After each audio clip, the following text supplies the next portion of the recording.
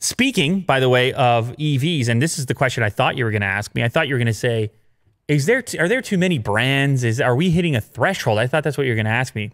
Well, that's the thing. There's like so many like brands. Why don't they develop some sort of league? Yeah, and just to show off. Yeah. Well, but then you're going to get the race car makers that just say, "Yeah, you can buy this car, but it's not really mass market." I don't know how you set up these That's rules. true. Yeah. But anyway, uh, Tesla's been they're down a little bit in Germany. Germany produces well a tremendous number of the world's cars, not necessarily in Germany, but German companies, huge companies. They're VW, uh, BMW, of course, on under VW, a number of other sub brands. They've all been racing to get into EVs, right? As you would. That part of the market is growing and uh, gas cars not so much. VW had the whole scandal with the diesel thing where the EPA numbers and they had huge scandal, gave people money back on some of those TDI diesels. The diesel in Europe was a big deal, Will. People loved it for the efficiency, for the long range. A lot of people were driving what was called clean diesel. It turned out it wasn't that clean. Mm. And there was a lot, there was some trickery going on with that. But that group has appears to appears to to some degree be interested in electric vehicles as the next phase, as the next stage. And so they were buying up Teslas.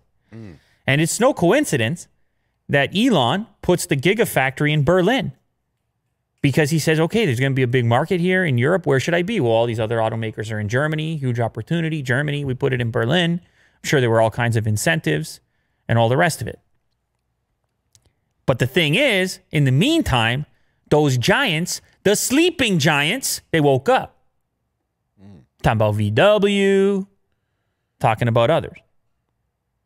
And in uh, in waking up, they are able to take these sort of massive footprints that they have, dealerships and assembly plants, and rejig them and just hit them hit the ground running. They have the infrastructure. These are juggernauts. Yeah. and they're awake now, and they've seen what's what Tesla has sort of uh, been able to do, and now they're aiming to do the same. And so that makes Tesla's job harder. And I, I presume when these guys come out and say Tesla's overvalued, I presume this is the kind of stuff they're looking at, saying, "Wait a sec, yeah, Tesla's doing great, but what happens when all the other automakers are doing EVs? What happens when you have BMW, Daimler, Volkswagen, Renault, Honda, Toyota. What happens when you have everybody else making EVs? Do people still choose Tesla out of the bunch? Hmm. And so Germany is this kind of little test ground. And it turns out people started choosing other EVs Oh. in the last year. So, and there might be other factors to this. Maybe Tesla couldn't get the supply they wanted in Germany. So people had to wait too long. And maybe that's why they put the plant in Berlin. There's other factors, Will. Hmm. These things are never simple.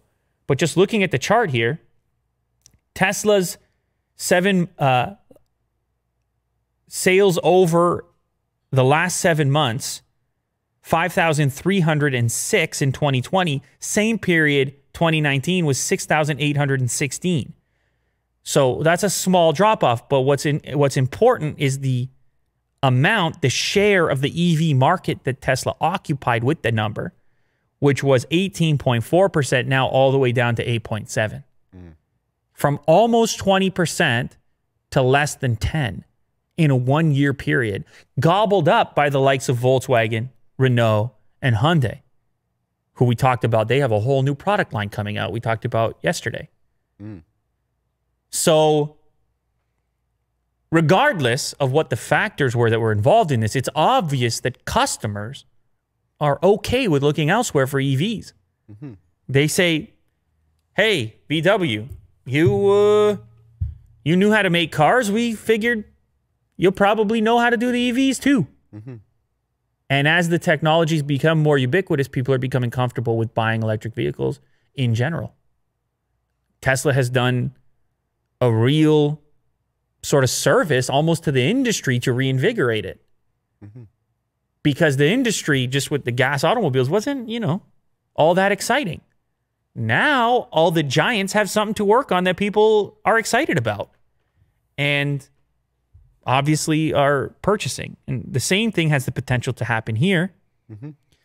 And this doesn't even take into account all the other exclusive EV makers that are set to hit the market 2022, 2023 that we talk about on this show all the time. Yeah.